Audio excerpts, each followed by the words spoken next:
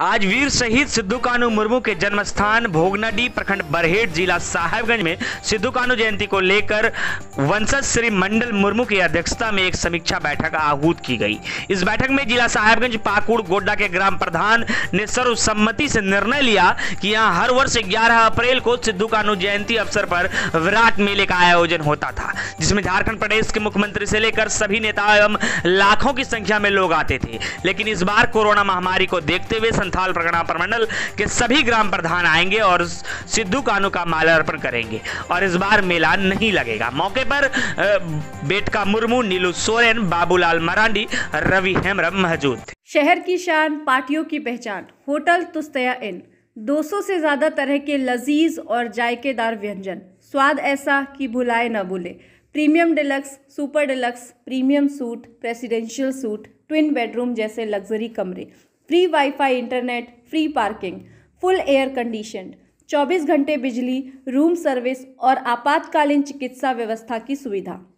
किसी भी birthday party शादी पार्टी के लिए वातानुकूलित बैंकवेट हॉल तो अगर आप भी बनाना चाहते हैं अपनी खुशियों को यादगार और रंगीन तो एक बार अवश्य पधारे होटल तुस्तया इन आपका नाम क्या है?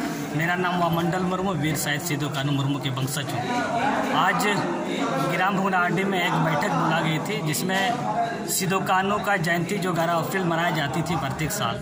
इन साल भी हम लोग सभी का निर्णय लिया है। निर्णय लिया गया है कि ग्यारह अप्रैल कानू का जयंती, कोविड नाइन्टीन का अनुपालन करते हुए सिद्धू कानू मुर्मू का जयंती मनाया जाएगा।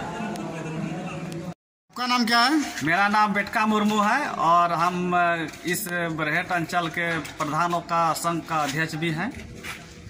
और और हम लोग का जो आज हम लोग बैठक किए हैं, इस बैठक में हम लोग का यही निर्णय किया गया कि कि सीधो कन्हों का जो जन्म माह है, ग्यारह अप्रैल को, उस दिन शांतिपूर्ण से कोविड नाइन्टीन को अनुपालन करते हुए हम लोग मल्यार्पण करने के लिए निर्णय लिया गया है।